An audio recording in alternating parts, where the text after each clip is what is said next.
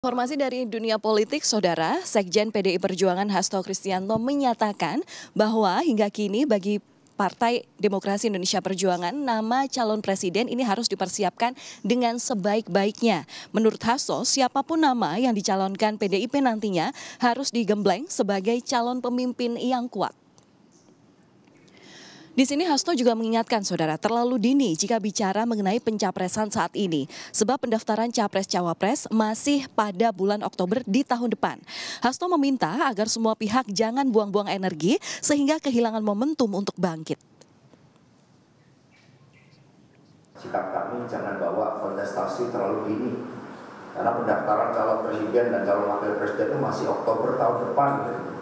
Nah, sehingga masih lama, jangan buang energi bangsa ini sehingga kita kehilangan momentum untuk bangkit.